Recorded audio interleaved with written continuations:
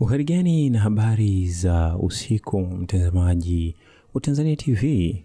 Ni wakati mwingine tena tunaenda kukujuza yale ambayo yamejili siku ya leo a, katika maandamano yaliyofanywa na chama kikuu cha upinzani nchini Tanzania, chama cha demokrasia na maendeleo.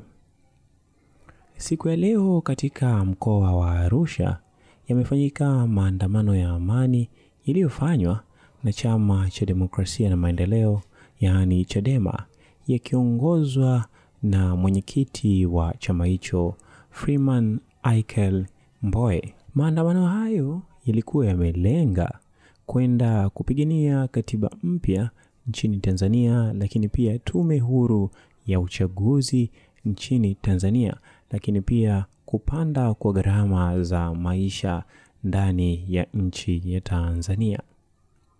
Richa ya mvua kunyesha jijini Arusha, maandamano ya amani ya chama cha demokrasia na maendeleo yameendelea yakiwahusisha viongozi wa ngazi za juu za chama hicho.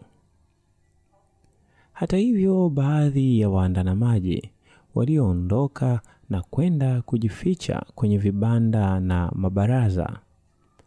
Maandamano hayo yamefanyika leo Februari 27 ya mwaka 2024 jijini Arusha, ikiwa ni hitimisho la maandamano ya amani ya chama cha demokrasia na maendeleo yaliyoanza Januari 29 jijini Dar es Salaam. Lengo la maandamano hayo yaliyofanyika pia Mwanza na Mbeya yenye jina la vuguvugu vugu la haki ya Watanzania ni kuishinikiza serikali kushughulikia tatizo la kupanda kwa gharama za maisha. Pia yanalenga kuitaka serikali kusikiliza maoni ya wananchi, hususani miswada ya sheria na uchunguzi uh, iliyopelekwa bungeni Novemba 10 ya mwaka 2023 kujadiliwa na kisha kupitishwa na sasa inasubiri kusainiwa na rais kisheria. Maandamano hayo uh, yanaongozwa na mwenyekiti wa chama cha demokrasia Freeman Aikael Mbowe, makamu wake bara Tundu Antipas Lissu na mwenyekiti wa chama hicho kanda ya kaskazini Godbless Lema. Maandamano hayo yaliyoanza maeneo tofauti tofauti jijini hapa, yalipofika eneo la Mianzini kuelekea stendi kuu ya mabasi, mvua kubwa ilianza kunyesha. Licha ya watu wachache kukimbia kwenye kujificha, uh, wengi wameendelea na kuandamana pamoja na askari wa jeshi la polisi mkoa wa Arusha wanaosimamia usalama katika maandamano hayo. Baadhi ya washiriki wa maandamano uh, wamesema mvua ni baraka, ikiwa ni ishara kuwa Mungu amepokea maombi yao. Kilio chetu kikubwa ni ugumu wa maisha, wakati serikali ikizidi kunyamaza juu ya yanayoendelea, ikiwemo bei kubwa ya bidhaa, ajira chache na hata mafuta ya petroli kupanda bei kila mwezi, amesema Mariam Said ambaye ni mmoja ya waandamanaji. Lakini pia dakika tisini za mvua, maandamano ya Chadema hayakuzuiliwa kutokana na viongozi wa chama hicho, lakini pia baadhi ya waandamanaji kuendelea kuandamana uh, wakati mvua ikiendelea kunyesha. Mvua iliyoanza kunyesha majira ya saa sita na dakika hamsini mchana na kukatika saa nane na dakika ishirini mchana haikukatisha maandamano hayo ya amani yaliyofanyika leo Februari 27. Maandamano hayo yalifanyika kwa makundi, moja likipita barabara ya Arusha Moshi, uh, walioanza eneo la Tengeru yakiongozwa na mwenyekiti wa chama hicho taifa Freeman Aikael Mbowe, na mwenyekiti wa chama hicho kanda ya kaskazini Godbless Lema.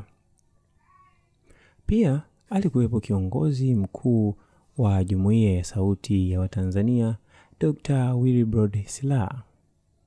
Kundi lingine lililokutanisha wanachadema kutoka kwa Mrombo, uh, Sombetini, Sokoni One, uh, Majengo na Kisongo wakiongozwa na makamu mwenyekiti wa chama hicho bara Tundu Antipas Lissu uh, na mjumbe wa kamati kuu John Heche. Tayari maandamano hayo yamewasili katika viwanja vya Leli kusubiri taratibu za mkutano wa hadhara. Baadhi ya washiriki wa maandamano hayo wamesema mvua ni baraka, ikiwa ni ishara ya Mungu kupokea maombi yetu yanayofanyika leo jioni hapa, ikiwa ni hitimisho la maandamano ya amani ya chama hicho cha demokrasia na maendeleo.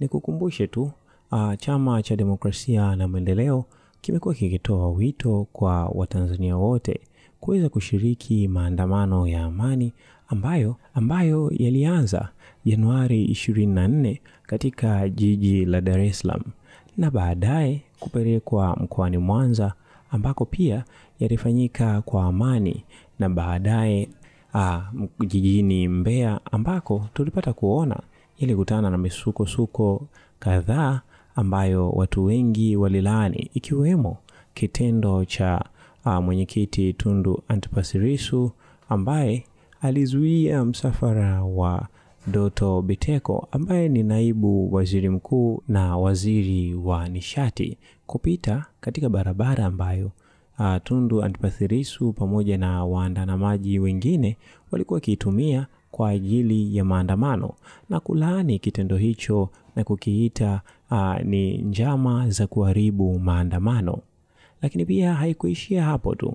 Hata siku hiyo hiyo ya maandamano hayo jijini Mbeya, mvua ilinyesha katika viwanja vya mkutano na ilisababisha mkutano ambao ulipangwa kufanyika katika viwanja hivyo vya Rwanda kuweza kuhairishwa na mwenyekiti wa chama hicho kutangaza kufanya mkutano huo siku nyingine na kutoa tarehe mpya.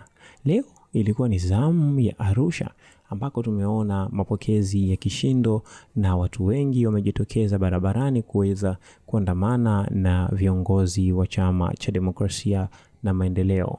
Je, leo itakuwa ni mara ya mwisho kwa chama cha demokrasia kuandamana ama tutegemee nini? Niandikie maoni yako katika comment section na mimi nitaenda kuyapitia.